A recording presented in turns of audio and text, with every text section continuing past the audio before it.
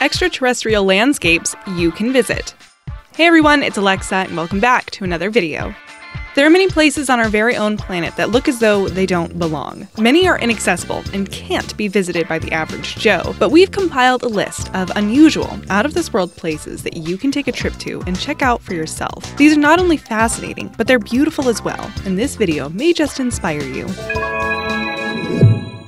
Spotted Lake. In the eastern part of British Columbia's Similkameen Valley, a saline endorheic alkali lake known as Spotted Lake can be found. The lake contains high concentrations of various minerals, including sodium sulfates, calcium, and magnesium sulfate, as well as eight other minerals, and it holds low levels of titanium and silver. In the winter, the colors of this fantastic lake aren't so visible, but the spots are amidst the snow and ice. In the summertime, the lake water mostly dries up and leaves the mineral deposits behind, which show up variously colored due to the different compositions. Also in the summer, some of the minerals left behind will solidify and create natural paths between and around the spots. These days, though, visitors are not allowed to walk on the site as it is an ecologically and culturally sensitive landmark. It can be viewed from a fence along the road and sure makes for one interesting alien sight to see. Wadi Rum. This place has a nickname, a nickname which is Valley of the Moon, and it's easy to see why. Although it does kind of look like a combination between the moon and Mars, it is found in southern Jordan and is the largest of all the wadis, or valleys, in the country. The area has been inhabited by many different people over time, with many leaving their marks and some of their stories behind in the form of temples and all kinds of different art. The highest point in Jordan, known as Jabal Um ad Dami, is located within Wadi Rum, and from the top, on a clear day, one can see all the way to the Saudi border in one direction and to the Red Sea in another. The area became popularized after images of it appeared in Lawrence of Arabia in the 1960s and has since drawn many climbers, trekkers, safari goers, campers, and those with all terrain vehicles. There are also luxury camping opportunities in the area, making tourism that much more popular. Lassen Volcanic National Park. Our next extraterrestrial looking area can be found in the northeastern part of California, and it features the world's biggest plug dome volcano called Lassen Peak. Lassen Peak is found in the Cascade Range, of which it is the southernmost volcano. Initially, the park was split into two different national monuments Lassen Peak National Monument and Cinder Cone National Monument, both of which were designated in 1907 by President Theodore Roosevelt. Just off the northern coast of California, the North American plate pushes the Gorda plate downward, creating a subduction zone, which is the source of the heat for the volcanism in the area. This park is one of the only areas on the planet where one can see examples of stratovolcanoes, shield, cinder cone, and plug dome, the four different types of volcano. The painted dunes in the park look truly alien. They're pumice fields that come in a variety of colors, and they were formed due to eruptions in the area nearly 400 years ago.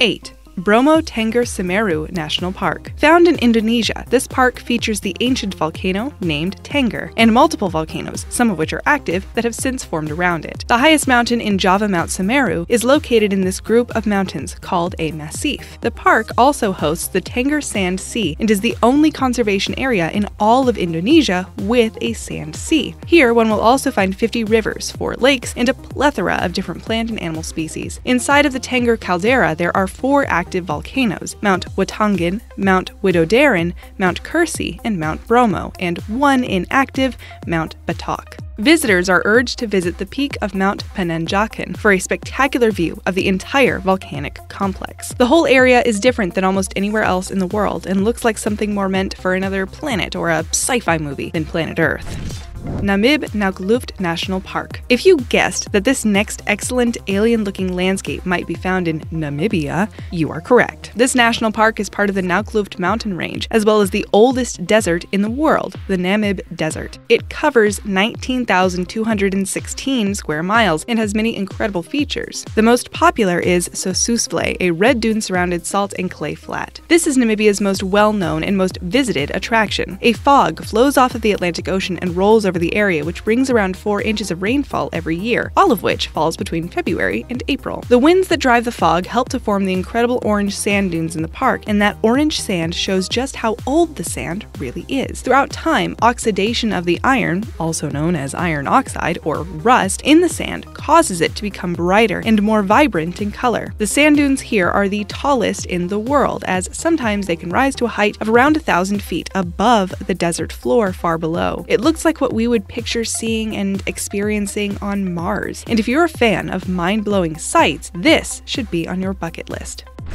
Yuan. This historic Chinese site is found in the Hunan province in the Wuling Yuan district and is designated a UNESCO World Heritage Site. The area is well known for its alien like quartzite sandstone pillars that number over 3,000. Many of these interesting pillars reach more than 660 feet into the sky and are surrounded by incredible landscapes below. Gorges and ravines are prominent features in the area, as well as waterfalls, pools, rivers, lakes, and streams. There are natural bridges and more than 40 caves in Wuling Yuan, and in total, the number of attraction sites to be seen is over 560. If you want to see some truly out of this world natural features, visit the 266 square mile Yuan and take in the beauty of this almost overwhelmingly natural area. Hang Son Doong. Forget everything you think you know about caves. Hang Son Doong is unlike any you've ever encountered before. This immense and beautiful cave sits very close to the Laos Vietnam border and features a fast moving subterranean river. But that's not quite what makes it so special. The incredible size of its cross section distinguishes it from every other cave on the planet, as it's by far the largest. Actually, it's thought to be roughly twice the size of any other cave's cross section, and by volume, it's, as of now, the largest known cave passage on Earth. It's estimated to be somewhere between 2 and 5 million years old and was formed in soluble limestone. Inside, it runs for around 5.6 miles and features two large sections where the ceiling has collapsed inward. These are called dolines. The sun can shine through the dolines, which has allowed for vegetation and trees to grow inside these sections of the cave. Tourists can visit, but if you want to check out the whole cave, just know that permits for the four day trip go for $3,000. Jökulsárlón this giant, almost otherworldly glacier lake can be found near the edge of Vatnajökull National Park in Iceland. The lake was formed by the receding of a glacier from the Atlantic Ocean. The crazy and obvious thing about this lake is that it keeps growing in size due to the continual melting of the glaciers in the area. It spans roughly 6.9 square miles and is said to be the deepest lake in all of Iceland at more than 814 feet deep. Want to hear something scary? The size of the lake has increased about four times from what it was in the 70s, and it's a natural wonder for the country. Another scary thing is that the almost 7 square mile lake is believed to have been formed over just the last seven decades, as 1948 is mentioned as a possible year the melting started. Around 60 to 70,000 people take boat tours on the lake every year and enjoy the odd sights of the many icebergs and other spectacles in the area.